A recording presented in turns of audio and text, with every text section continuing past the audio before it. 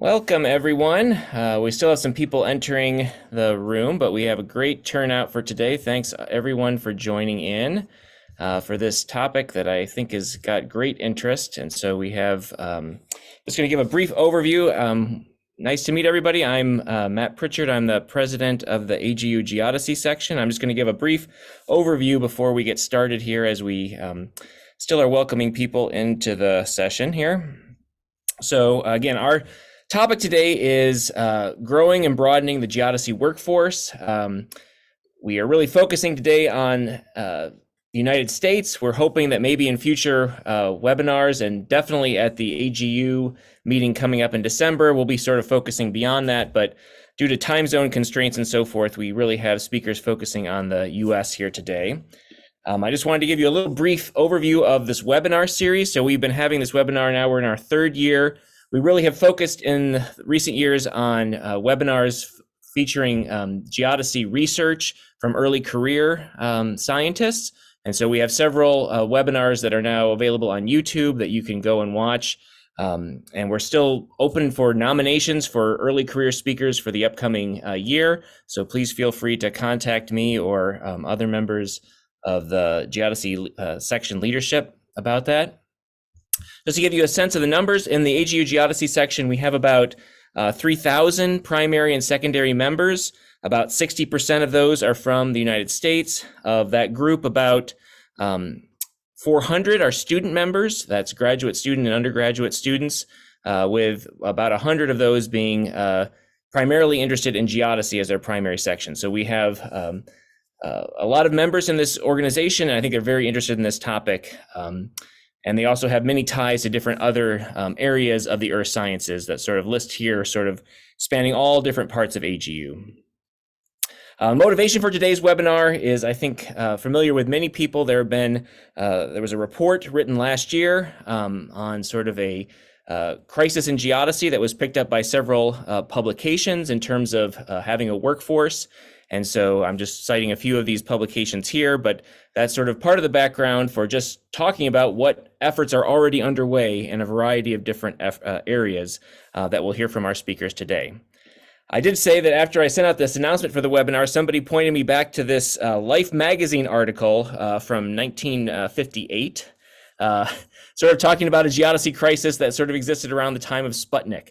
Um, just noting the point that we sort of seem to go through these cycles, and uh, we have uh, confronted the, the cycle um, in the last century, and hopefully we can address it again in the coming century. All right, so without further ado, um,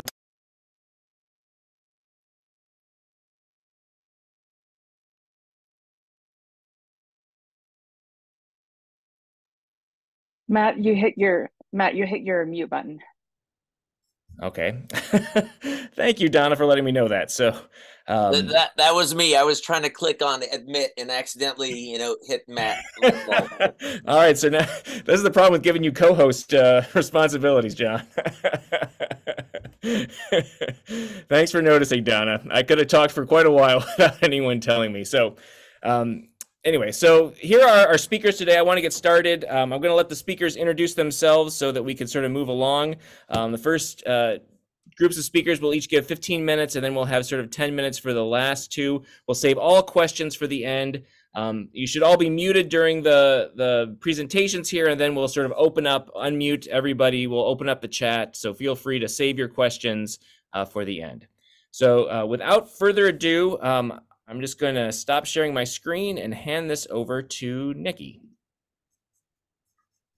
Well, good morning, all. Good afternoon, good evening. Um, as humanity, I think we're going to have to find some uh, way to, to, get a better greeting as we uh, leverage all of this technology. But uh, whatever time zone you're in, welcome. Um, as noted, I'm Dr. Nikki Markiel. I am a member of the Defense Intelligence Senior Leadership, and I am currently posted as the Senior GEOINT Authority for Geomatics at the National Geospatial Intelligence Agency. And NGA is a little bit of a unique agency. We're actually dual hatted as both an intelligence agency as well as a combat support agency. And in the latter role in particular, we provide a lot of support for the Department of Defense across the broad range of activities that they do, which basically boils down that at the end of the day, I am a geodesist and I get to work with a whole lot of people in mapping and charting and geodesy uh, to support uh, the DoD as well as the nation as a whole. And in that role, I am often asked what my number one concern is. And don't get me wrong, uh, I have a lot of different concerns, but always number one at the top of the list is a question of where are we going to get the next generation of talent from? And uh, this is not just geodesy, although we're going to focus obviously today on geodesy, but across the board. If we talk about acoustics, we talk about photogrammetry, we talk about sonar, we can go all the way down the long laundry list. If we look at things, you know, artificial intelligence and machine learning. Um, Currently in the United States, according to NIST, uh, or I should say the National Science Foundation, 79% of all of the computer programmers and 81% of all the electrical engineers are not US citizens. And that's a real problem for us because obviously, as a DoD entity, we not only have a challenge in recruiting STEM writ large, but on top of that, they need to be US citizens uh, in addition. And so that fundamental question of where we're going to get people, but in particular geodesists, is a real concern. If we look at the disparity overall, folks, according to the World Economic Forum, China has roughly 4.7 million STEM graduates age 18 to 60. The, uh, India is in second place at about 2.6 million. The US, according to their World Economic Forum reporting, is a distant third at 568,000. I imagine there's a lot of scientists on board right now on this channel. Congratulations, on average, you're outnumbered nine to one. But if we start talking about geodesy, that swells to a 78 to one disparity. Um, and that's a real problem. And the fundamental reality is, is we're losing the war for brains and we're going to have to change. A great example, and Matt, I know you threw up a couple of examples of GPS. I don't think a lot of folks always understand the relationship between a lot of the science that geodesists do and something that we increasingly just take for granted, which is GPS. But you've got precision atomic clocks. Well, two atomic clocks do not tick at the same rate if they're not sitting on the same equipotential, the same gravity surface. So there's an inherent relationship between gravity and time right at the very beginning. You have the whole gravitational field so how is that perturbing those GPS satellites as they orbit about so we can get at that precision geolocation for those birds? The magnetic field, so they know how to orient their solar panels to the sun and remain charged up and operational. And then the whole broad range of the reference frames that underpin uh, position as a whole, both the celestial and the terrestrial reference frame, in our case, World Geodetic System 1984 and the earth orientation parameters that uh, go ahead and support all of that. So this is just one exemplar of how there's a broad range of the science which has been built up and we have taken for granted for a great number of years. The fundamental reality is that many of our current GEOINT professionals retire out. There really isn't enough young professionals behind them that are ready to step up and take their place. And not only that, we have, as I fundamentally say, a real marketing problem. Um, I've consistently said for many, many years, we do not have a STEM problem in the United States. We have a fundamental marketing problem because the reality is, is that far too many don't even know that the field of geodesy exists, why it's important, and as a result of that, we not only risk the loss of the expertise that we need, but we find that the academic programs are equally at risk. And that puts an impact not only to the next generation, but the generations to come. Who's going to be there to educate the next generations uh, of, of geodesists and geomatics professionals as they come? Now, to cope with this, I can say that at least at, at NGA, as well as I know several other federal agencies, we have resorted to hiring people with degrees in math and physics. And then we send them off to school in order to become and transform themselves into geodesists. And I'm very grateful for that. It's an arduous process. It's certainly not easy. And yet, at the same time, it takes away from their ability to support the missions at hand today. Um, and so that is really not a sustainable effort as we look to how to advance forward. And advance forward, we really must. Um, if we look even beyond the aspects of GPS and really just a couple of quick vignettes to think through, um, self driving vehicles. Okay. What are the accuracy requirements going to need to be? What's the reference frame need to be? How do we accurately geoposition those kinds of platforms so that we can reliably and safely drive a vehicle at 70, 80 miles an hour down a freeway and and do so in a safe and reliable manner. Uh, if we look at things like drone deliveries, you know, how do we make sure that you know the pizza company delivering your your pizza tonight via drone delivery knows where your house is, but equally knows how to position and how to get there. And if we look to even more broader aspects like space and the whole Artemis mission and man's uh, efforts to reach out to the stars, you know, how are we going to do fundamental time in space is a real ongoing challenge and how to do so in an effective manner. So these are just a couple of examples of the challenges that are, are there to come.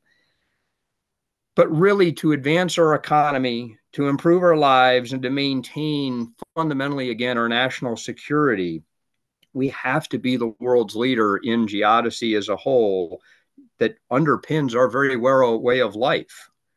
Um, all of this geodesy is not only just underpinning GPS, it actually winds up underpinning about 16 components of US national infrastructure. Banking, finance, Wall Street, the electrical grid, the transportation grid, the communications grid that we're leveraging right now with our digital communications, that and all much more we're going to need the people who can not only maintain the science today, but also develop and manage cutting edge methods and technologies.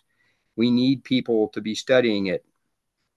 I truly believe and have made the statement that if we do not quadruple the number of STEM graduates in this country by 2035, that we are going to lose not only the global war for brains, but we're going to lose the ability to sustain our way of life as we know it. So, how do we get there? The long-standing definition that I know of of insanity is to repeat the same behavior and anticipate a different outcome. And clearly, I would submit whatever we have been doing over the last 20 to 30 years is not working. And to continue down that path is insanity. So, I think it, first and foremost, we have to go back. We're all, many of us are scientists, many of us are researchers. What does the research say? Well, let's focus first on why kids don't go to college. I'm not talking just about STEM, I'm just saying college writ large. Well, first and foremost, no member of their family has ever gone to college. They do not know what to expect. Again, that's a marketing problem. Number two, they don't think they're smart enough. That's a perception problem, not necessarily a reality. Number three, they don't know how to pick a school. Number four, they don't know how to pick a program. And way down the list at number five is the fundamental question of money. If we focus on why don't kids go into STEM, we find that the number one issue is, is they don't know the jobs exist. Again, it's that educational aspect of what is geodesy and why does it matter? That goes to the second issue that we wind up finding in the research, which is that there's a perception that working in STEM is boring. You just sit at a computer all day and that doesn't sound like much fun. So at the end of the day, the challenge I would submit is really threefold. Number one, we have to make them aware. We, we have to quit being introverted. We have got to get out. We've got to market and make them aware. Number two, we have to capture their imagination of the importance, the relevance, and the fantastic.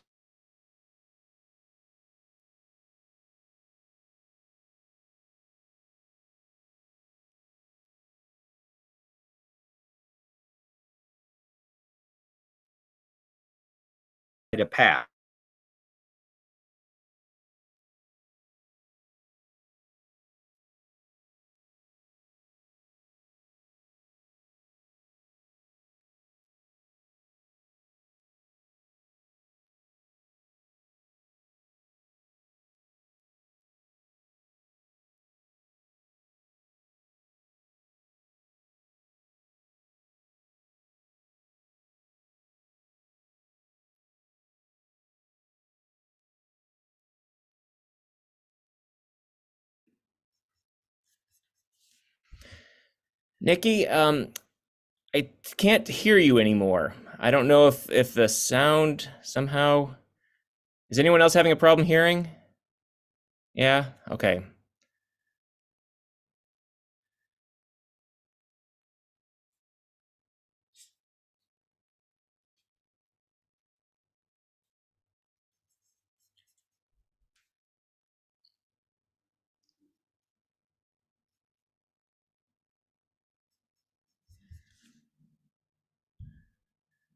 All right. Well, I think I think we've lost. Um, I see a frozen screen here.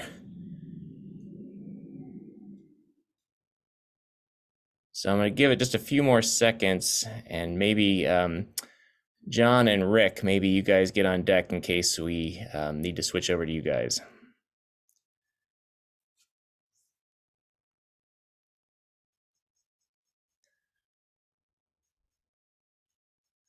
All right, I don't quite know what happened there. So um, hopefully we'll be able to reconnect with Nikki here in just a second. But um, in the interest of keeping this flowing, I'm going to just maybe we'll return it to if you guys are ready to go, John and Rick. Um, I will let you guys go. Can you guys unmute yourselves? Okay, that looks good.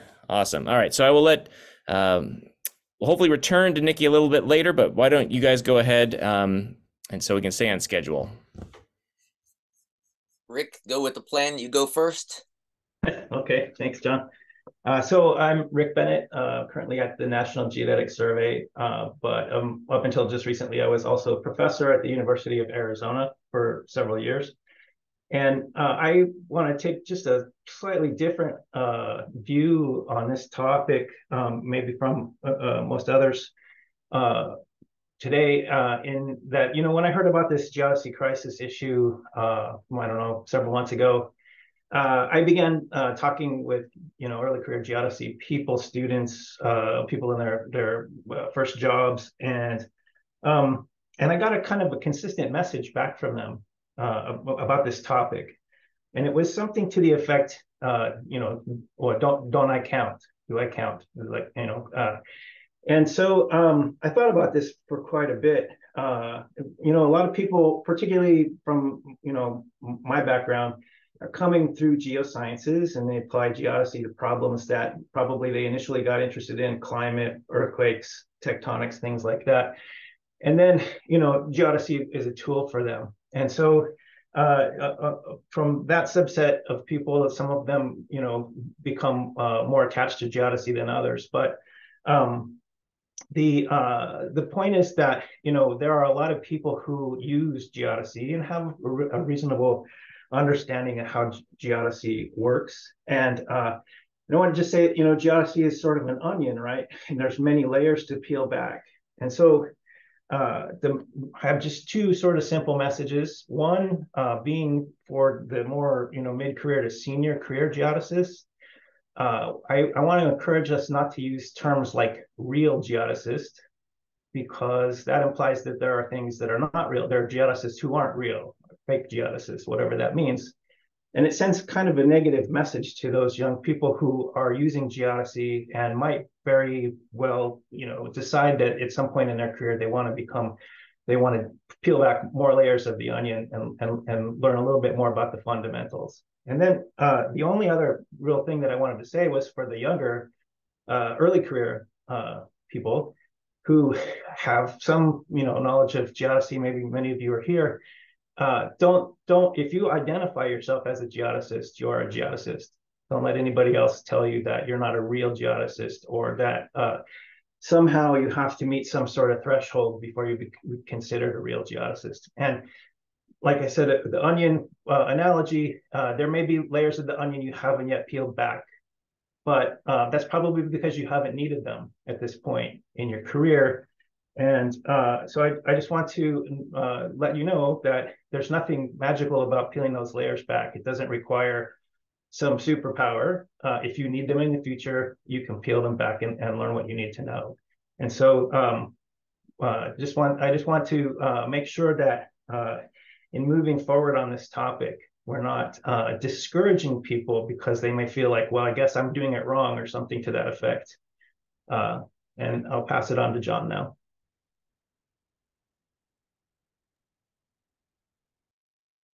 Thanks, Rick. Uh, give me a second to get, my, you know, my timer set up. Uh, if I don't do this, it, it, it will be trouble. Don't worry, John. I'll keep I'll keep on you. All right, super.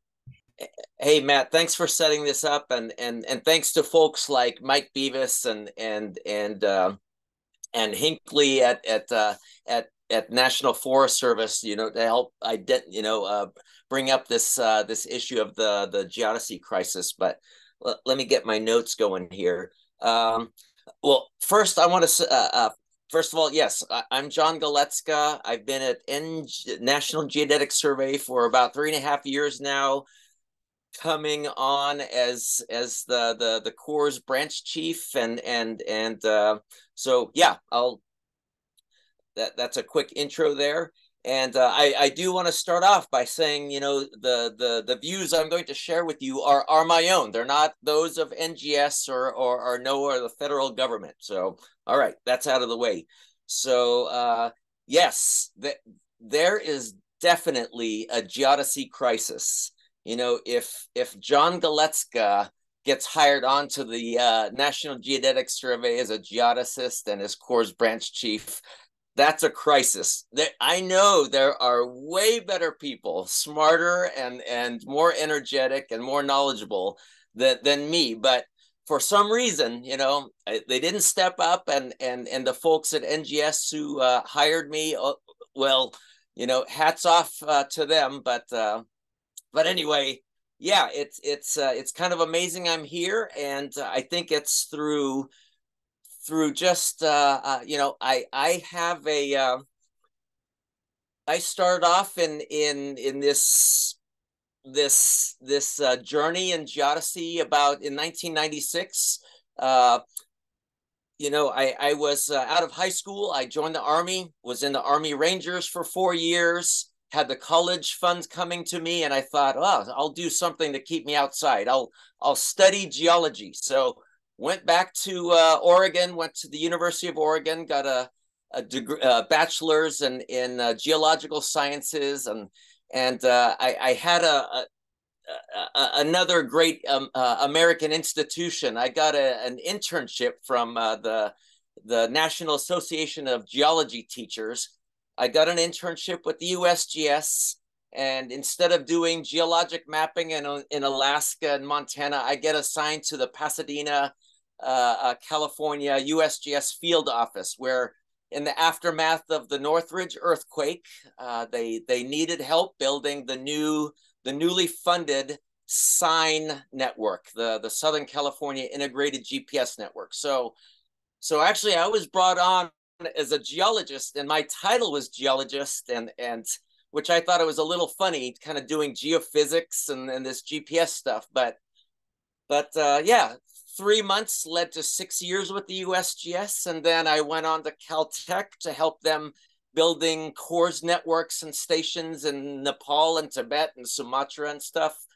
Uh, 13 years with uh, Caltech, and then jumping uh, jumping over to uh, UNAVCO, uh, helping them build a, a, a, GPS meteorological network in in Mexico called TlalocNet, and then and then uh, doing some other stuff for for UNAVCO, uh, maintaining and setting up stations in the Galapagos in, in Tanzania, and then uh, and then in just as as COVID was beginning, you know, I I I get this call from from folks at, at NGS saying I should apply for this job. Never thought I would get this this CORS branch chief job, but uh, I did put the big boy britches on, and and this is where I am. So I I I really not the right person uh, uh, to for this, but I will just you know grit my teeth and and do the best job I can.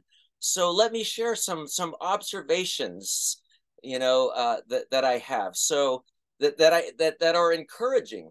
So just recently, in in the last year, you know, I I, I personally see that the uh, that that the U.S. the federal government we're we're not coordinated in in geodesy. You know, uh, there are duplicate efforts. There, there's there are are things that uh, one group doesn't know about the other. I just recently at a meeting I chaired, not even the NOAA space weather people who could easily benefit from CORS data, they had no idea that you know the NOAA CORS network existed. So so anyway, it's it's encouraging to see that uh, uh, thanks to to the, the the the primary players in this new community of practice, National Geospatial Intelligence Agency and and uh, my outfit, National Geodetic Survey, started this federal community of practice.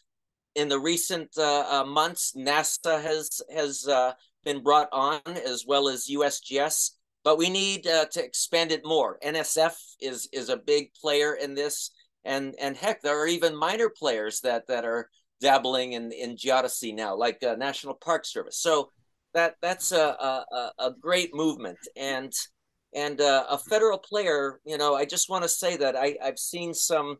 I paid visit to USGS Golden a few weeks ago and and met with some some new geodesists there and just in, encouraged to see, you know, folks like mm. early career folks like Bill Barnhart, and I saw that uh, Dara Goldberg was was brought on. That is just awesome. That that's that's encouraging. So let's let's keep it up, Feds. Uh, GAGE, the the GAGE facility, uh, uh, you know, formerly run by UNAVCO and now taken on by uh, uh, uh, uh the the GAGE facility is has uh, the the geodetic facility for the National Science Foundation has merged together with the seismic facility, and they now call themselves the EarthScope Consortium. So I would say, you know, let's put in a bunch of chips with them. They do geodesy A to Z. You know, if you need if the community needs to borrow equipment, they have it. If they need help building networks, they can do it if if uh, they're also good with education and, and outreach and donna will i'm sure will will speak to that. So let's let's you know keep uh, uh they're a powerhouse. They're a full the GAGE facility uh, of earthscope is is a geodetic powerhouse. Let's support them um moving on.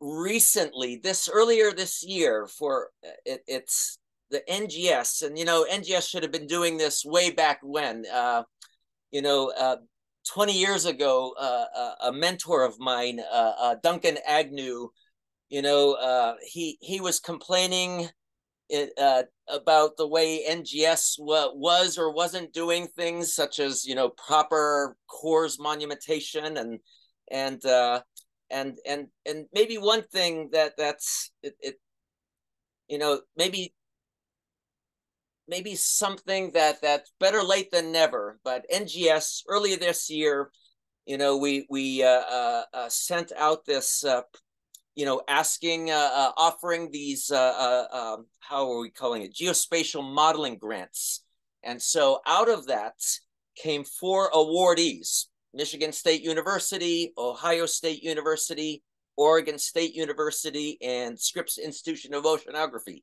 So it, it is great, you know, NGS pumping money into the uh, uh, uh, uh, academic geodesy to to you know to do problems that will help NGS move into the 21st century. So that that's been a long time coming. That that's an encouraging uh, uh, that's encouraging uh, movement there. Um, next thing uh just recently you know my my partner uh, uh will freeman uh here at uh in in the uh the spatial reference system division of of ngs we've been banging our heads against the the the our own contracting force within within noaa and finally it it we we, we were able to award a contract for uh, uh, uh, a, a, group to to build the next generation of what we are calling foundation CORS, uh, uh, federally NGS federally owned CORS that will always be on. Will if if all the other NOAA CORS network stations disappeared, at least we'd have a backbone of federally owned stations to to carry on uh, uh, the, the the Corps' needs. So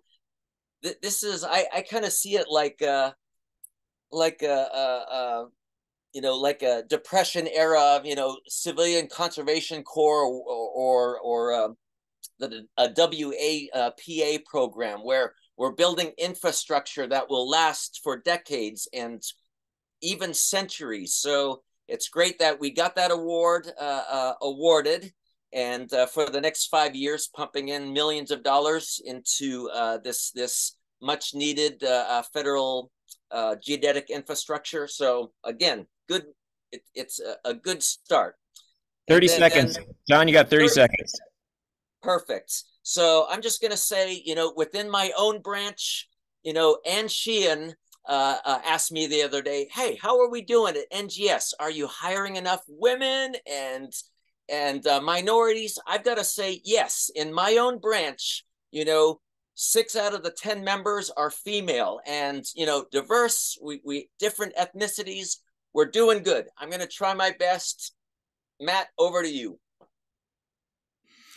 Thanks so much, John and and Rick. Um, and I think we have uh, Dr. Markiel back. So um, try to unmute you and give you your last five minutes here before we move on to Jeremy. All righty. Well, thank you. Technology is always wonderful when it works. Um, I uh, I think the place where I dropped off, I was really starting to talk about the community as a whole and the aspects that we have to reach back not only at graduation day, but all the way back down the K 12 chain. Because if we don't get them hooked by age 12, and this is again what the research shows, they're not going to be there at uh, graduation day for us to hire. But beyond that, I think one of the most important lessons we've learned is that it is a mistake to just focus exclusively on the students. That is necessary, but not sufficient. Equally, you have to focus on the parents, the relatives, the friends, very importantly, the teachers and the educators, the civic groups that surround those students and are going to be the powerful forces that make the decisions about how eh, what they want to do with their lives and what they want to do with a career. Um, it's all really about increasing the size of that hiring pool. Now, what we've really done is a, a series of programs that I'm just going to talk through very, very quickly. And they really basically boil down the first one called GeoPathways, which breaks down at kindergarten through fifth grade. Uh, we're trying to introduce them. At the sixth through eighth grade level, it's about an immersion in the geoscience on the geospatial principles, including geodesy.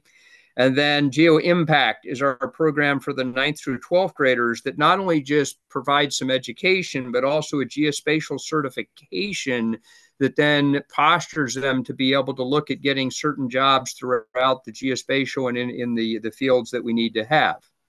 Um, and then most importantly, I think, is geo immersion. This is a program that we have stood up in partnership with our local universities, including our HBCUs and other minority serving uh, institutions in the community to particularly on the aspect of educators at all levels, but also those parents uh, that surround those students to educate them. We've held a whole series of educational courses on Saturdays, for example, about what is it we do and why does it matter and where does it have impact um, not only just to those k-12 students but again to the parents that surround them? We've realized that that exposure is the absolute key. Uh, and as example that whole program this year had over 200 students at various age group and levels that went through.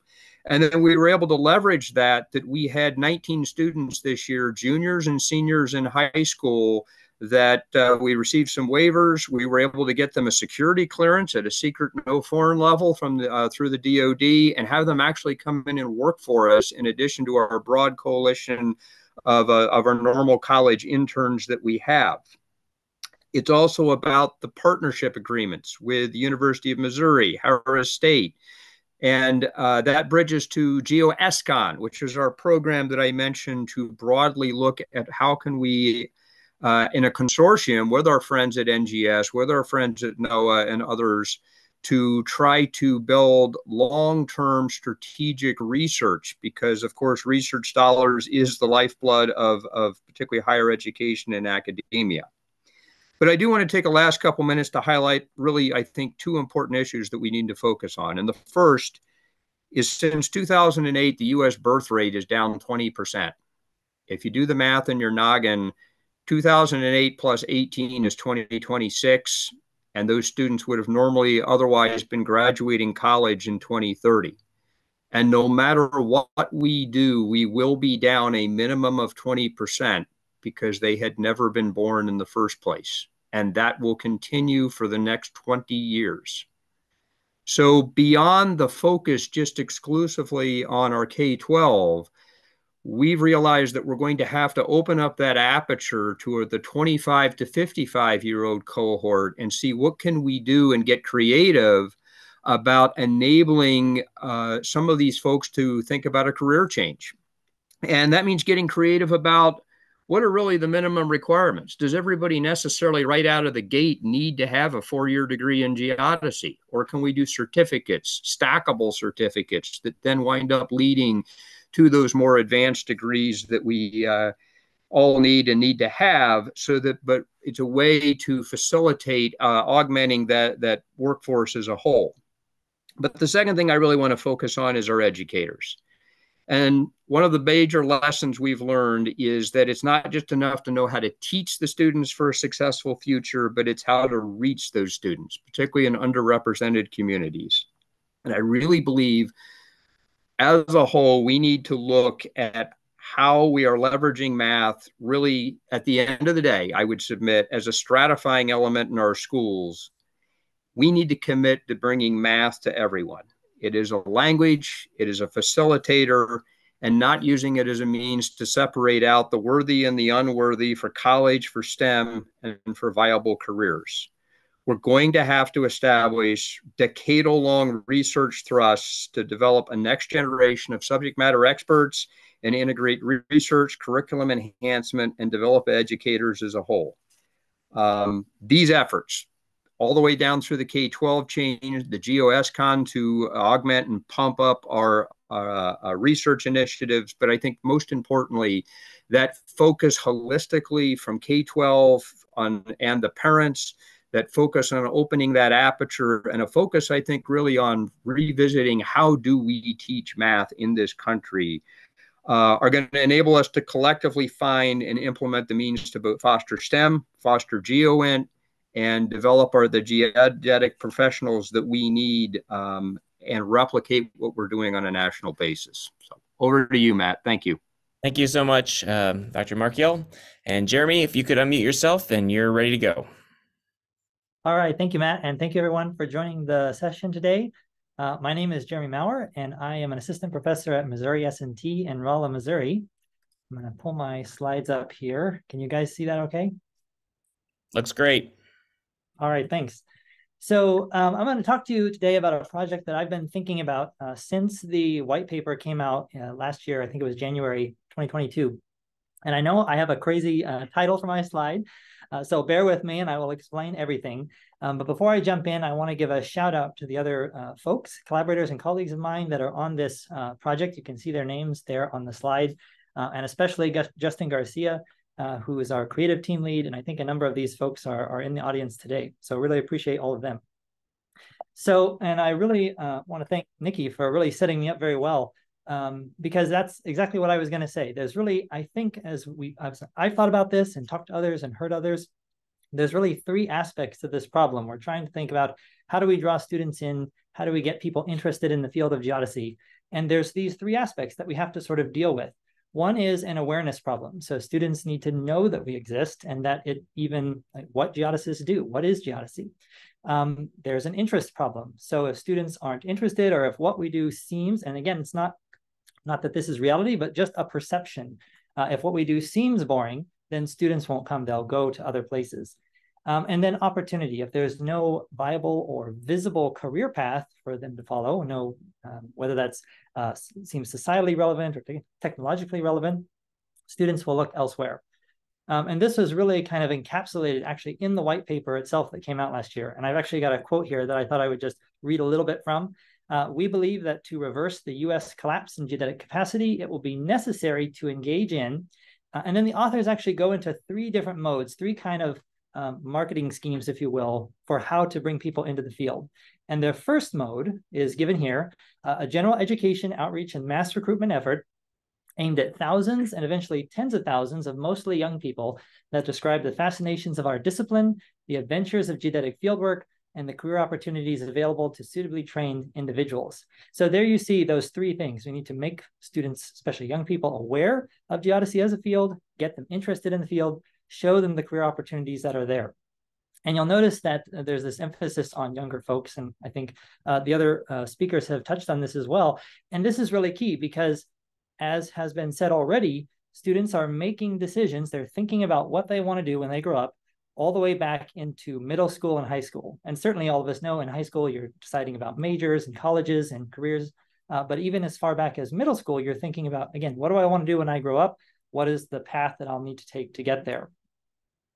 So, to address this specific demographic, uh, this middle to high school range and even into college and, and parents. Someone mentioned parents, and that I think is also key. What we've done is to propose that we develop an, an all new animated comedy about the world of geodesy. And the idea here is to actually create a, a series, uh, so like a TV show kind of format, where we'd have a number of uh, episodes talking about what geodesists do, different geodetic topics, it would star uh, our alien uh, geodesist, uh, and he has to work with a cocky, kind of privileged college student, and they have to learn to get along, work together, learn about geodesy in order to save the planet that they are working on and living on. Now, why would I propose to you? And I, I see a lot of my colleagues and friends in the audience, so I hope I haven't lost all my credence now.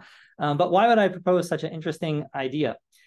Well, if you look at kind of mainstream entertainment, uh, mainstream TV networks have been using entertainment to educate kids for years. Uh, so you think about PBS Kids and all the shows that they have put out. Uh, entertainment has been used to educate kids at a very early age for years. It's not something which is uh, which is that new. And there's actually a really interesting and uh, uh, fun example in the UK. There's a UK organization called Get Kids into Survey. This is focused on surveying. Um, and what they have done is they've put together a series of posters, which kind of shows know, what surveying is about, what kind of exciting problems you get to work on. And they've actually done a comic book. So they have characters and a storyline and kind of some mystery to solve. And according to the organization, they've actually been very successful at reaching thousands of kids in the kind of elementary age range with this message about getting into surveying. So we're thinking about targeting a little bit older demographic, kind of middle to high school range. And so what we've done is taken a cue from mainstream entertainment. Uh, so Gravity Falls that you see here on the right, this was an animated comedy which was very popular with middle and high school kids and also adults. So the whole demographic there uh, you can get. And what are the keys to doing that? One is sophisticated humor. So as kids start to get older, they become more interested in comedy. And the great thing about that is, is that comedy appeals to not just middle and high school kids, but also to their parents. So all the way from middle school up to adults, you're bringing people and getting people interested.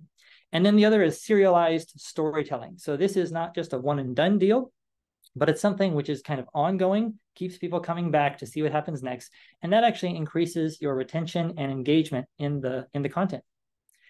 So there are some benefits to using entertainment to, to reach this demographic. One is that it works. Comedy is an immensely popular subset of entertainment, and it's very highly effective at reaching broad audiences.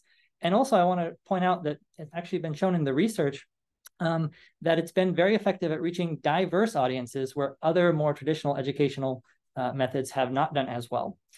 Entertainment is synergistic. It can and should, I think, be coupled with all of the more traditional educational outreaches that we've been talking about, um, K through 12 education, uh, college degree programs, and so on, in order to maximize the impact. And we actually um, have a proposal together to do this, and that's exactly what we said we would do: is develop the show and then develop educational materials that accompany that uh, to maximize that impact.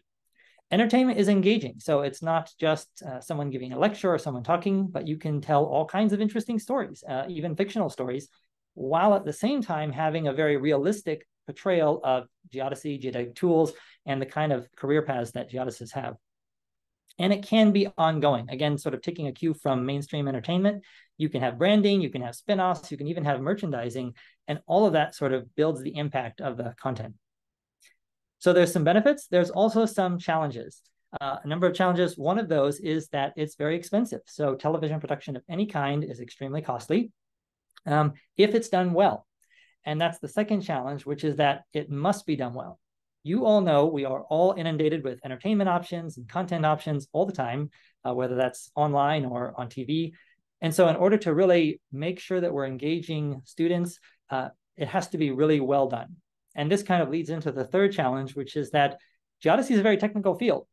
And oftentimes, uh, you know, comedy is not all that technical, right? So putting together a, a, uh, a show which has both the a really high quality entertainment, really high quality uh, comedy aspect to it, and has that really high quality portrayal of geodesy um, is really key and important to, to making this work. Uh, and I'll just pause here for a moment and say the, the folks that were on the first slide that I showed, I think we've been able to put together uh, really just all the key pieces in order to be able to make this work. Um, and it's been my privilege to work with all those guys uh, and gals uh, to see this thing uh, come about. So just to conclude, um, I think we definitely need to raise awareness of geodesy in this demographic, middle school, high school, and going into college. This is the age when kids are deciding, what do I want to do when I grow up? Comedy and entertainment are highly effective methods of reaching these specific demographics. So I think it's something we should definitely be thinking about. Uh, and then so to bring it all around, joking about geodesy, uh, not to say that uh, we're not serious um, in what we do. We do a lot of regular research, uh, very serious about that. But bringing out the lighter side, showing folks a little bit about the lighter side of the field, hopefully to help get them interested, get them uh, attached to the idea of doing geodesy as a career should be I think one crucial component, it's not the whole answer, it's part of a multi-pronged effort um, to really bring people into the geodesy field, coupled with more graduate programs and undergraduate programs and K through 12 uh, educational things. Um, so that is all I have, and I will give it back to Matt. Great. Thanks so much, Jeremy. All right. So our last speakers today will be uh, Donna and Michael. If you guys are ready to uh, share your screens.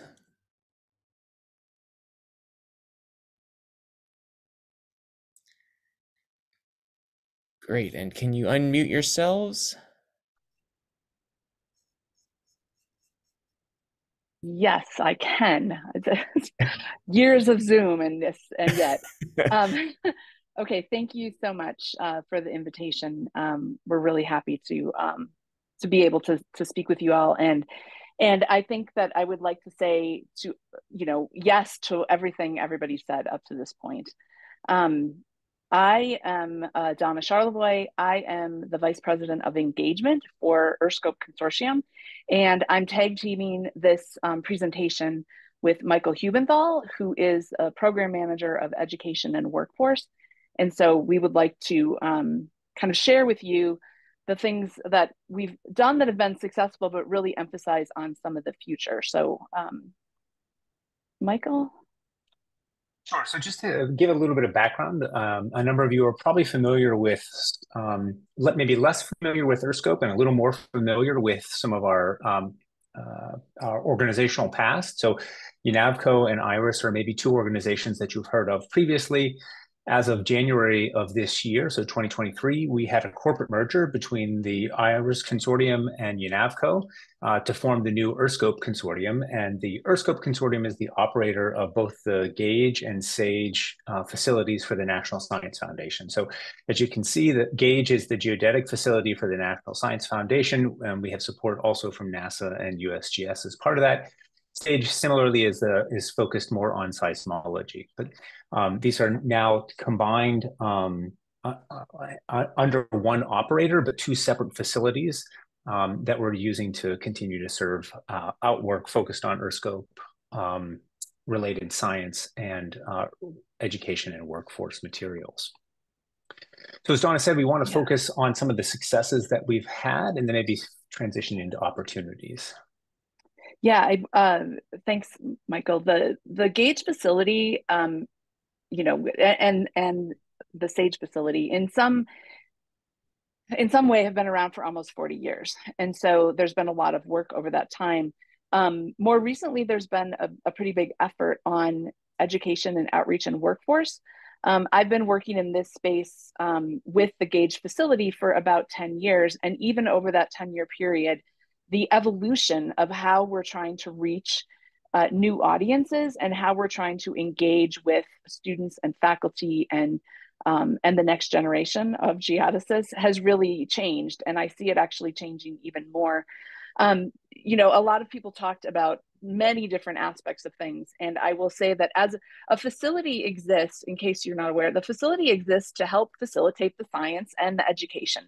Um, but we also have a really strong workforce component. We actually have staff whose full time job is to do geo workforce. And what does that mean? It means that their job is to help recruit and train and launch the next generation of, of scientists um, into geodesy or seismology and so forth. So the important thing I think for people to know is that we this is this is people's full-time job here and we really want to work with all of you in order to um, to help advance forward uh, you know the the this initiative we've done for years we've done geodetic training and, and processing uh, which is critical for any geodesist who wants to look at data. You have to know how to process it. Those courses have evolved over the years, but they are a mainstay um, and they're very important uh, because we need data in order to do things, um, to do the science. We engage with faculty, and that is university faculty and K 12. And this ranges from everything to exposing them to geodesy to um, having short courses where we take them out in the field and we help them learn how to use different geodetic equipment that they can then take back into their own classrooms. And then we have a lot of student engagement, and this ranges um, by by type of engagement and and level, um, K twelve all the way up to postdocs. We have mentoring programs. We um, about five years ago launched a thing called Career Circles, which were informal discussions um, for students where we bring somebody in talking about their career path and it allows students opportunities to ask questions so somebody mentioned that this is really important students don't know that geodesy is a career. I'll be honest, I'm not trained as a geodesist. I'm trained as an atmospheric scientist, and I didn't know anything about geodesy before I came. And that's a big problem because I was in the scientific field, I was in the physical sciences, and yet this was not visible to me.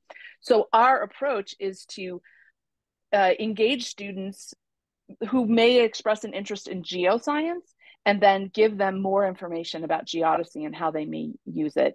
Um, and you can see some of the photos here. Um, we have instituted a, a, one of our internships. We have many. We have five. One of our internships is a workforce focused internship, and some of these folks that are in the photo are actually now uh, working in the federal government in geodesy or or in um, in workforce recruitment. So we've had a lot of successes over the years, but you know we we do not want to continue to do the same thing because while it's having some impact, it's not having as much impact as we would like. And so this is where I would like Michael to talk just briefly about the the future of what we're looking at. And and in, i think most important i would say is working with all of you who have an interest in this. And michael is the point person. I am also very engaged but um i'll turn it over to him for what we're what we're looking at for the future Sure. So the you know I think the key here is that um, as a facility we offer um, a, a, number of places where we can touch the community, and so this is includes both a national and international community of users of the facility of the Gage facility. So this includes researchers, this includes undergraduate students, graduate students as well, but it also includes the general public who may have an interest in having access to data Additionally, I'd note that this also includes some groups that can probably be strong partners that maybe we haven't traditionally thought of before. So we have collaborations with groups like the National Association of Geoscience Teachers and NESTA, the National Earth Science Teachers Association. These are groups that can certainly help us in terms of getting messaging out to the public. Um, and so as we work together, I think these are uh, certainly touch points into the community that we wanted to be continuing to focus our attention on it and, and really trying to expand as much as we can. Um, we also have uh, a, the capacity to play uh, a larger role probably in geodetic education systems. And this sort of stems from our unique positioning um, outside of sort of what would be considered the traditional education ecosystem. So we're sitting sort of parallel, uh, but in, in an in-between space to the, the academy where training is largely happening. So this gives us a chance to think flexibly uh, about how we might develop a, a, a geo, geodetic workforce. And this could occur through a variety of different pathways. Some of this could be in the terms of maybe implementing new courses or curricular materials designed specifically for use in the academy but it also may, may be focused on sort of short courses or um, modules that could be operated outside of the academy that would be specifically targeted at some of the ideas that have already come up, like we've heard mentioning about micro-credentialing or certificate programs. These would be sort of focused at a different level of workforce development that would be tied into sort of career changers, people who want to develop new skill sets that are already working in the field. And we see that from a number of the short courses that we're already running, uh, where we have a number of people who are coming back to sort of enhance their abilities to do this kind of work. And so we know that audience is out there, um, and we should really, really can be thinking about how we want to really support them, and maybe even create new pathways for them to go further with that. Sort of the third thing that I would mention here is that we have a lot, a robust um, set of expertise on staff um, maybe that other facilities might not have. And I think we could do take advantage of this group. This includes instructional uh, and program designers, uh, workforce staff, as Dawn already mentioned, uh, program managers and evaluation specialists, science communication specialists, uh, event planners, and others who are really, you know, well positioned in order to to create opportunities for the community to engage both with one another, but also to reach out to outside audiences. So um, how do we connect to teachers? These staff are already doing some of that work now, but are, and are and are well poised to be able to expand some of that those efforts and begin to make more inroads into uh, the educational community, for example, whether that's at the K-12 level or into the higher ed uh, levels that um, maybe aren't as familiar with geodesy as we'd like them to be. We also have an opportunity to take advantage of the programs that we've already been running. So we have a large uh, sets of, of alumni of our programs. This would include internship programs that we've been running for years. So we have students who've come up, uh, done internship experiences and gone on to uh, pursue careers in geodesy. But it also includes participants who have come into our short courses, participated in those and had great learning experiences and been able to apply that learning to their ongoing work these are people who could provide additional insights into what they need. They you know haven't participated maybe for a year or two but they're really close to where we're you know offering things now and can really provide us sort of focus group type information that can help us shape what um, what new resources need to be developed new programs need to be developed and offered in the future. Um, and there's probably things that we're not already thinking of uh, that they have a unique insight into uh, and finally, I think the last thing that we would want to note here is that we have experience running a number of large community workshops where we can bring large groups of people, often cross-disciplinary, together and facilitate experiences for collaboration, uh, sharing of ideas, and really creating new visions for the future. And these can these can range from a variety of things, from thinking about um, as pictured here, this was a workshop that was focused on bringing together early career geophysicists with early career geoscience education researchers and bringing those two communities together to identify new problems that maybe we want to solve and thinking about creative ways to, to think about those problems. And for a variety of them, it was a way to create um, new content pathways um, and explore topics that would be uh, that were uh, sort of unique because neither one of them had the expertise solely themselves to solve those kinds of problems. And I think that this this situation that we're facing today is really one of those interdisciplinary problems that we want to be addressing sort of collaboratively by reaching out with our peers and other groups. Uh, and those peers may actually not even know that we exist uh, in terms of you know what geodesy is. So there'll be some education on our part to just even get them in the door. But these are some of the exciting opportunities that I think that Earthscope is uniquely positioned with the Gage facility to offer to the community. And so we look forward, as Donna said, to working with everybody to sort of bring that together. And I'll just add as a last point, please, please reach out if you would like to talk more about any of the things that we've talked about today, or if you have ideas, because we would love to work with you. There you go, Matt. Thank you so much, Donna and Michael and all of our speakers. Um, I think we we made it through the time. we're, a little bit over time, but I think that's great. Um, the chat is open. Uh, feel free to raise your hand if you have questions. Um, as you guys are formulating your questions, I'll just say that I think that this webinar is just the start of a conversation on trying to get groups together. I've gotten you know, we've had unprecedented interest in this topic. You know, we had over 130 people logged in today. I've received lots of emails and even some phone calls. People still calling me on the phone sometimes. Um, so I think there's a lot of interest in this, and I hope that we can use this to leverage uh, cross-disciplinary, cross-agency uh, communication. You know, on solving this this major wicked problem that we've got, and I think it's all hands on deck. Um, I'll just know that there will be opportunities at AGU, at the AGU meeting, uh, for us to discuss this, but feel free to send emails again to any of the speakers today um, uh, to, to, move this forward. So with that, um, I don't see any questions in the chat yet. Does anyone uh, want to raise their hand or unmute themselves to ask a question or make a comment?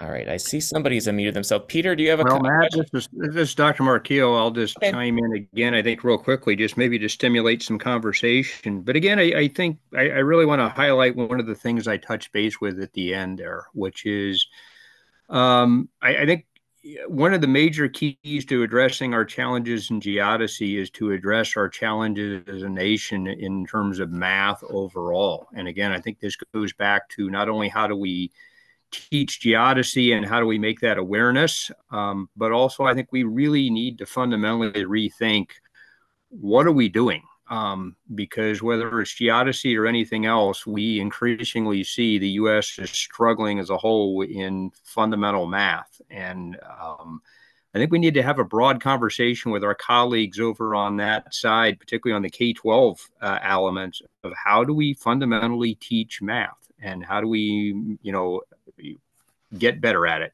Over. Great, great point. All right, uh, Everett Hinckley as first hand up, and then we'll go with Duncan.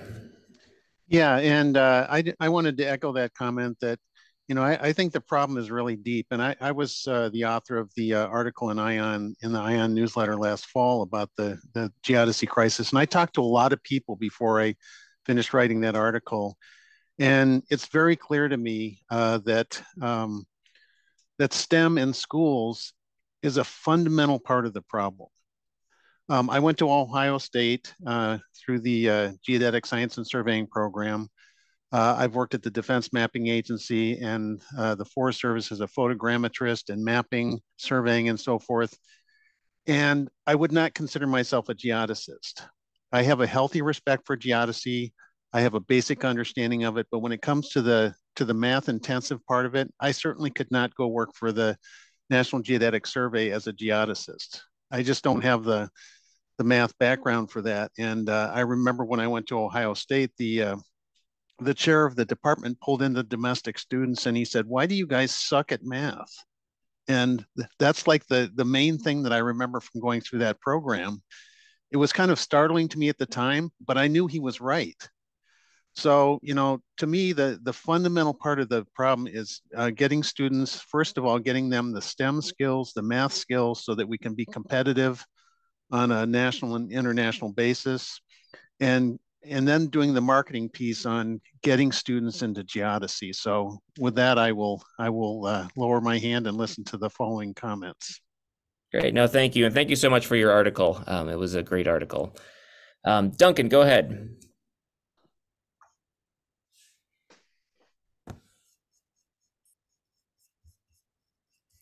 Uh, Duncan, can you unmute yourself? I was having trouble with my mouse. Um, so I think there's lots of things to say, and but I want to point out that academically in the U.S., geodesy has never been very well represented. Um, the contrast with Germany has always been striking. I think there are a number of reasons for that. One of them is that the surveying community has not supported a lot of academic programs in the past. Um, many surveyors have tended to view what they do as more of a skilled trade. And so you know, there hasn't been a basis. For most of my career, if you said geodesy, my answer would be, oh, Ohio State, right? That was pretty much it. And that was largely DoD supported. Um, I'm actually going to send to Matt a uh, history of science paper on the history of the OSU program, which he can redistribute as he sees fit. But I just want to read you a couple of sentences from the from the end. A reason for the partial success of the OSU geodetic science sciences researchers is paradoxical. They succeeded too well.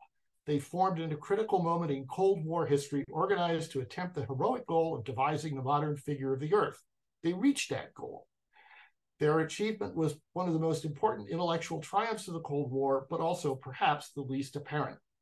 The fruits of the figure of the earth are intangible and dispersed. They are distributed across society, embedded in a myriad of technologies resident in every map or GPS receiver. Once the figure of the earth is ubiquitous, it becomes invisible. Over the Cold War, the members of the OSU's geosciences community positioned themselves with extraordinary precision along the Olentangy River, and in doing so, they made themselves all but disappear. And so I just offer that as historical historical background. But I, I you know, in the U.S., geodesy has never had um, has never had a, a, much of a presence in academia. Um, I will add that we see the same. I'm quite familiar with the same phenomenon in marine acoustics. Uh, they also both have the problem that for most of their careers, most of the time, the main user was the military. And if there's uneven funding there, then that fades into the educational program. So I'll shut up now. All right. Thank you, Duncan. I look forward to just seeing that history. Um, I did see there's a question in here that maybe some of you guys can address, which is um, this question of uh, a role for an, uh, an international workforce. Um, you know, there are some limitations with some of your agencies in terms of um, hiring uh, only U.S. citizens, but to what extent is there a role um, in your agencies or allied agencies in, in the geodetic uh, workforce in the United States for um, foreign uh, nationals?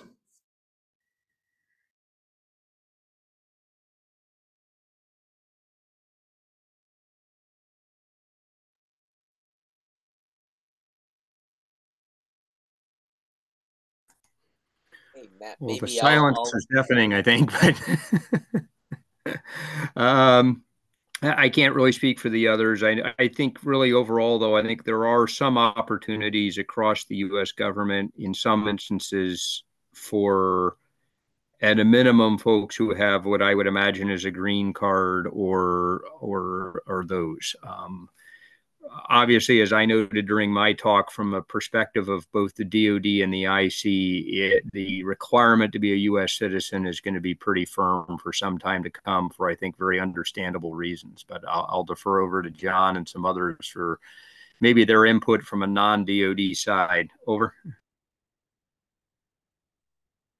Thanks, Nikki. Yeah, uh, I'll, I'll say a few words. Uh, you know, I'm since coming on when when I came to CORS Branch, we we had five members, and since then, in the last three years, I I brought on uh, uh, five additional members, which uh, one is actually uh, uh, uh, Rick Bennett. Um, and and now you, you might have seen that I'm I'm in the process of of advertising for a CORS electronics technician, but you know federal rules dictate you know it, it's it's U.S. nationals that that can really take on these these federal jobs. So I'll I'll, I'll so so maybe the the best advice is try to get your U.S. citizenship if if you're a, a non-U.S. citizen. All right, we had a uh, uh, Scott uh, Sponhorst. If you don't mind unmuting yourself, I guess you had a problem raising your hand. Yeah, yeah, I just wanted to add add a few pieces of detail about the community, the geodesy community of practice that uh, John mentioned earlier. You know, we we're forming this from a governmental agency side. You know, just to start with, we realize that it's a bigger problem than just government. It, it's it's academia. There's industry involved. But for right now, we're just initially starting this with the government agencies of NGA, NGS, USGS, and NASA trying to get together and just trying to wrap our own heads around this and see what we can what we can come up with. Then we are going to expand into the um, NSF and the National Academy of Sciences, and the rest of academia has to be a part of this as well. I just wanted to kind of add that in, um, and I, I loved uh, Jeremy's Jeremy's thing of a geodesy comedy. I just thought, hey, what about a a, a video competition, a video game competition on geodesy? Because we all know video games are huge across the middle school and high school. You know, if there could be something you could create in a video game style and get that get that marketed, you know, once again, marketing is a, a key aspect of what we do. I just wanted to throw those uh, few few additional details out there. That's it. And I'm from NGA as well. I'm I'm from NGA along with Nikki in the Office of Geomatics. Thanks so much, Scott, for uh, sharing that. Hey, Matt, if I can, um, and I know this conversation, this is Dr. Markiel, I, I know the conversation has been focused obviously on the United States, but I would also note that of recent late, the United Nations have stood up a International Center for Geodesy in Bonn, and uh, Mr. Nick Brown, formerly of Geosciences Australia, has the honor of being the director of that.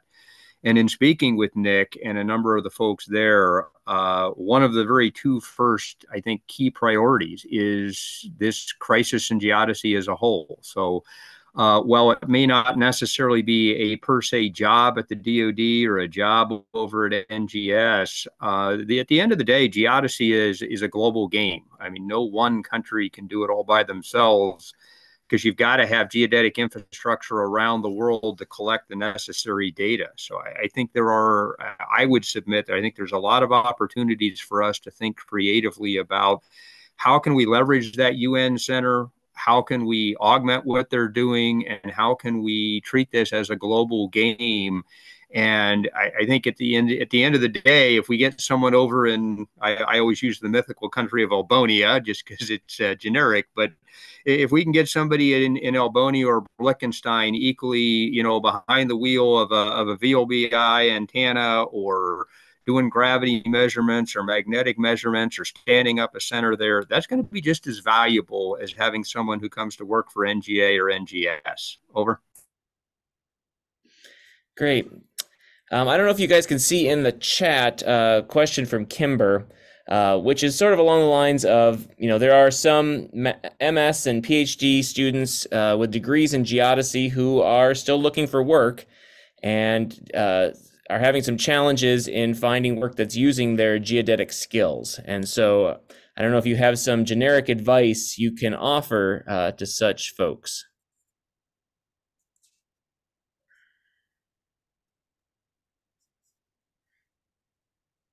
Can I speak up?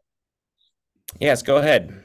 Actually, I hired uh, uh, Kimber, and I actually, you know, stole her from from uh, UNAVCO EarthScope, and and and maybe it's I don't think it's so much a a, a question uh, from her, but more a comment, and and and maybe if we could allow uh, Kimber, Kimber, I, I I love what you have to say. Maybe you can, you know, instead of people can read your comment, but maybe I know you're a good speaker, so better than me.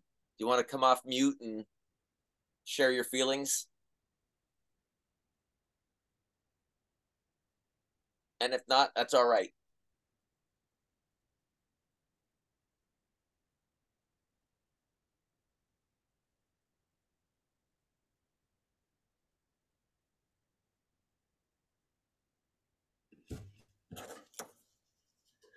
Yeah, so I guess uh, Kimber is welcome to unmute if you would like to, but I guess um, Donna, why don't you go ahead?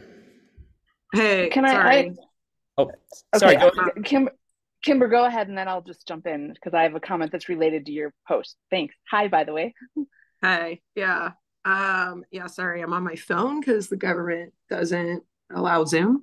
but, uh, yeah, my comment would just be, I I see the focus on let's get students, let's entice students, let's have them take math, let's do all of that. And as someone who had a very early interest in geodesy and has wanted to learn and wanted to become a geodesist and wanted to help grow geodesy in America, it has been incredibly hard how to figure out how to do that. And and what I find myself doing is metadata management and updating websites and sorting equipment because there isn't a role for someone to use their brain in geodesy really right now. And um, it, it's been pretty disappointing on a whole. And i do hear i have you know i worked with a lot of students from china who would love to stay in the country and work on geodesy. Um, but because there aren't professorships available and there aren't government avenues for that, um, they end up going back to China. Um, and sometimes they don't want to.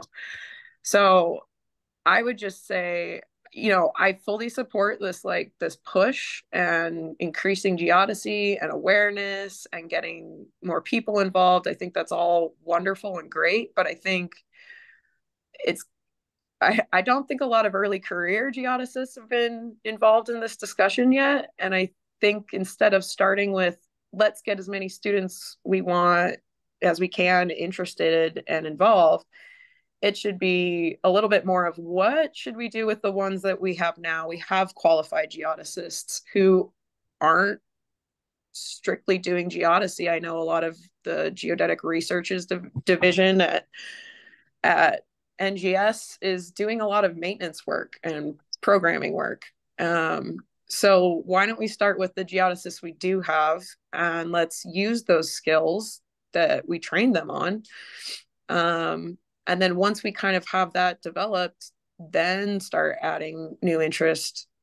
But the interest is there. I really don't think that's that's the problem in this workflow. I think the problem is you know those of us who do have interest and do go through programs have nowhere to go. So there's no point in raising a bunch of interest if it's just a dead end.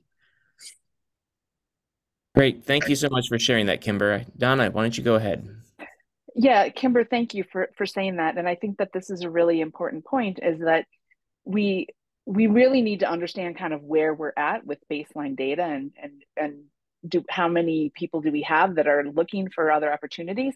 And i think that you know i'm looking at the 100 plus people that are on this call and and i think that a lot of this is also related to kind of this kind of conversation and connections and networking and helping people um, understand what the what opportunities are out there and available. And so i think matt you know you're bringing this group together is really kind of the first step in addressing what what kimber is is pointing out in in my opinion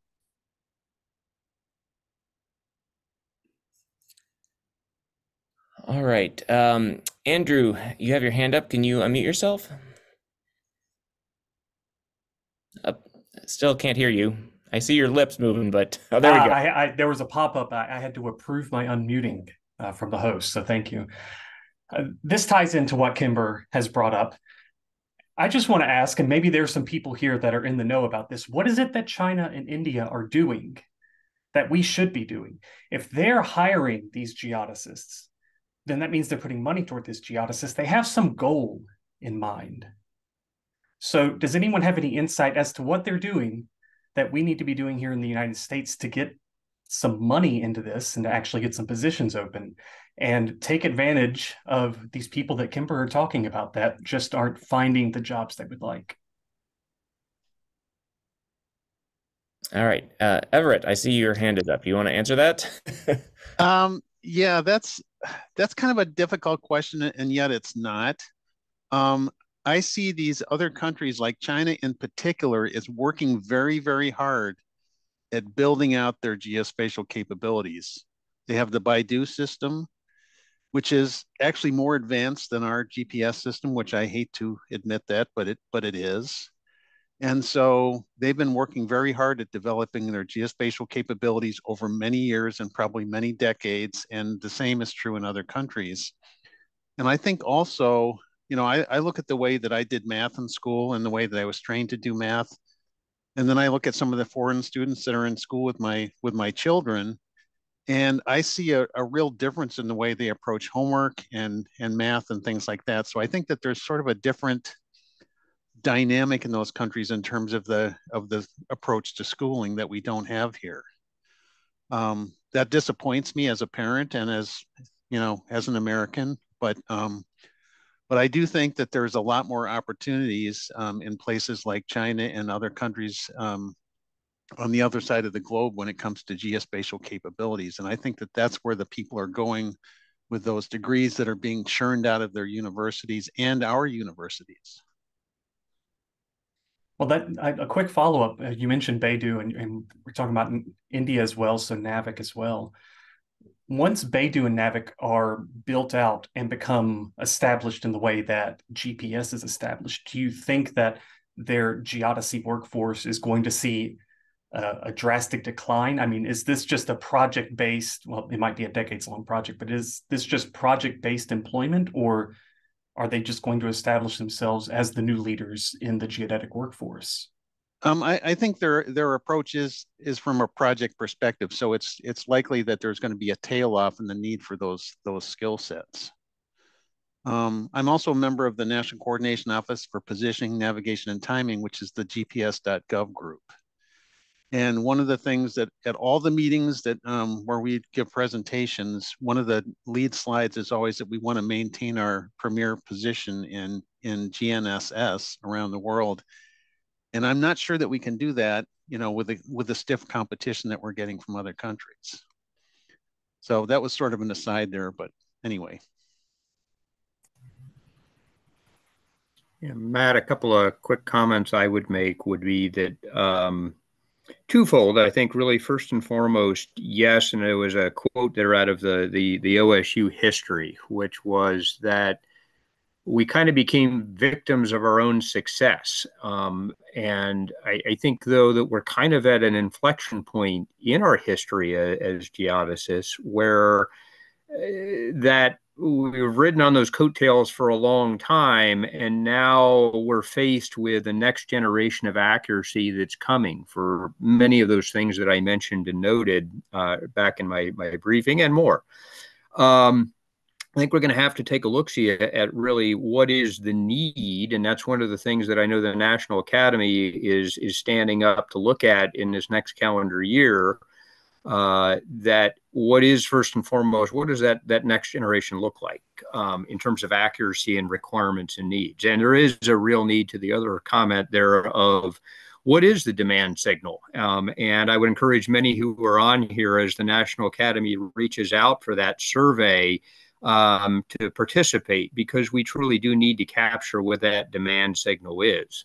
But my second comment really, I think, is is that overall, I think the and this is not just limited to geodesy. I, I think the notion anymore that you are this, whether it's a geodesist or a computer programmer or it, all of that gets jumbled together anymore. And so the notion that you're going to be doing geodesy and nothing but geodesy, there may be a few that get to do that. But I, I think overall, at the end of the day, you wind up being multidisciplinary. So if we look for just example with the explosion of small sats, I mean, we're looking right now, I, the numbers I've seen is that the commercial sector is going to have upwards of like 6,000 sensors and over 3,000 imagery birds that are going to be up there you know how do we do that at scale? How do we mosaic together when 75 birds take a shot?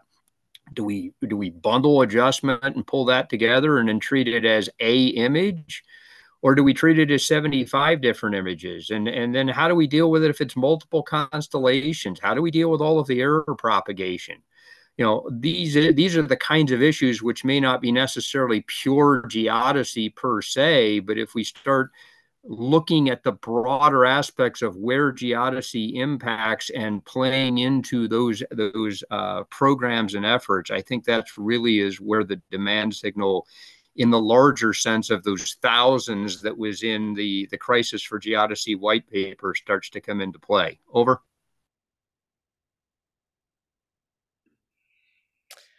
Great. Uh, well, thank you, uh, everyone. Uh, there's still con- suggestions and questions coming in the chat. Um, uh, and I appreciate that we are a little bit over time, but I guess I wonder if anyone has a question. Uh, as, a direct question I see in here is um, from Junla, uh, which is Can anyone comment on job opportunities in the private sector for geodesy trained scientists and engineers?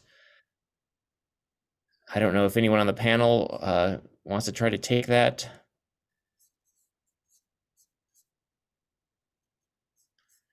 All right, go for it, John. Matt, I mean, I'll I'll address maybe a, a tip of the, the the iceberg on that. When I alluded to uh, uh, uh, mentioned about the the contract, we we we recently approved the contract to build foundation CORS. I, I, I'm it's just an example. Maybe the trickle down effects. It goes to uh, uh, uh, uh, private companies that that hire the the people, the the the earth scientists necessary to evaluate site geology, look at uh, data integrity and and such. So so that's just an example. Again, maybe from the federal side, the trickle down effect. If we can pump money uh, through contracts and, into the community, I, I, I think it will help the the Esris and and and such to to hire the these geodesy professionals. That's one way. That's the the way I I see at the moment. Great. Well, thank you, John. Um, I guess uh, based on some comments I'm seeing in the chat and some direct messages I've gotten too, I think um, I think a good outcome from this that uh, we'll take under advisement if we can do this is just helping to consolidate opportunities, both job opportunities and internship opportunities across various sectors. Um, to have sort of a, a one-stop shop for people to find these sort of things, and you know, it's it's sometimes hard to, you know, we get various emails or you look at various different message boards with different types of things, but that maybe if we can um, I don't know if it'll be on the AGU site or somewhere else. Think about, you know, finding a clearinghouse. Again, you know, a lot of opportunities come through the Earthscope mailing list. That's another a great opportunity for that, but that's not the only uh, resource. So um, that's definitely one idea that I've gotten out of this that I think we can try to implement in the in the short term. But um, I think another thing is just continue to have conversations amongst the group here and um, think about other ways that we can work together um, on the on all the all the issues that came up here. All right. Anyone else have a final word they would like to say?